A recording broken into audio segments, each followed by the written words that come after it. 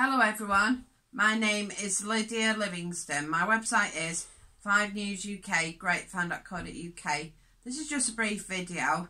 I have secondary progressive MS and at the moment we are approximately seven weeks or so into the lockdown.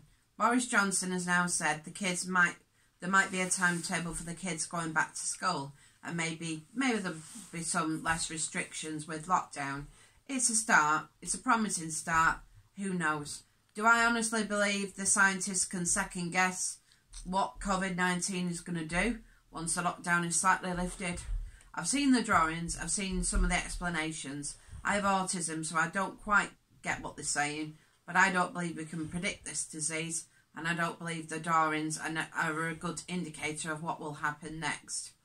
Anyway, uh, beyond that, my MS has left me more or less housebound. Um, I'm not going out due to the um, lockdown. And on top of that, who no, none of us know what is going to happen next. Um, I've been watching Five News. I think Janelle Aldred, my favourite on there, is no longer presenting the lunchtime bulletin. But who knows? I hope she comes back because she always makes me smile when she's on at lunchtime. She's only on for 10 minutes or 5 minutes or so, but it's always great um, seeing her uh, on screen.